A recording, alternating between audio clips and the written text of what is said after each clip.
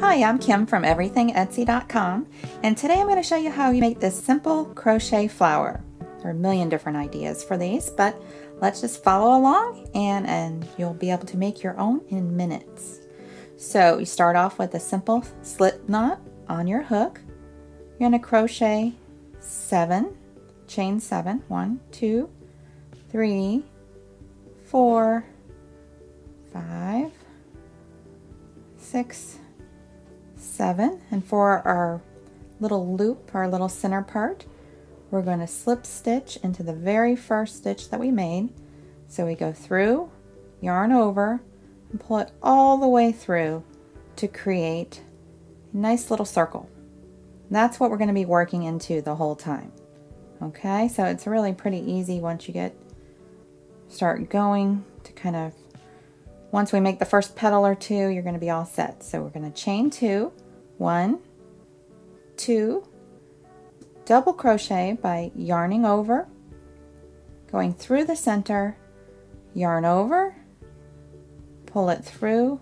That gives you three loops on the hook. Yarn over, go through the first two, yarn over, go through the second two. That makes a double crochet.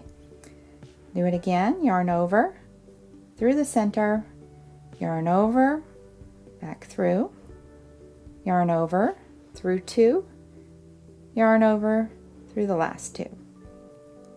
And it's looking pretty good. Do it again, yarn over through the center, yarn over, back through, yarn over and through the first two, and through the second two. Now we're going to chain two.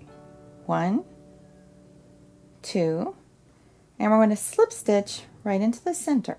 So go through, yarn over, bring it through, and pull it all the way through to finish off the very first petal. We do the same thing. We're going to stitch, uh, sorry, we're going to go two, two chains, a double crochet.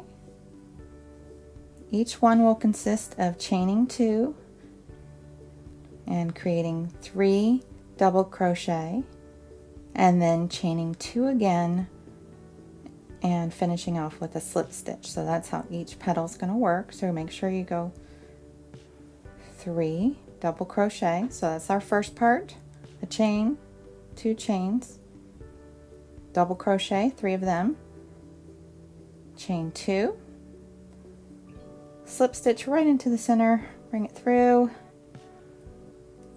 By now you're getting the hang of it. Just mush it around there a little.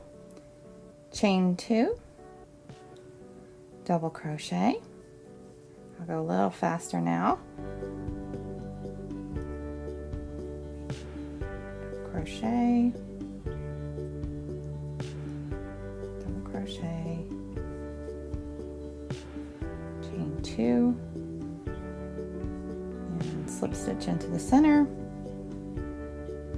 We go. Move it around a little. Chain two again for the next petal double crochet. Double crochet again. And the third double crochet. And chain two. Slip stitch when you get four on there it gets a little tight. Don't be afraid to really push it over. Chain two, double crochet, double crochet, and one more. Chain two,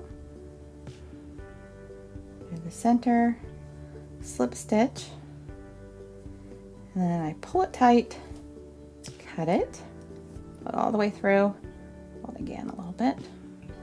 I'm to go from the back and take the yarn to the back. Flip it over, tie a knot. Don't worry if it looks a little wrinkled, ruffled looking, we're going to fix that. Cut that. Here we go. We just kind of mush it, pull it, tug on it. You can do, it's very tough at this point. So there you go. We've created a crochet flower. And you can find the written instructions on the blog at everythingetsy.com. Thanks so much. I hope you had fun.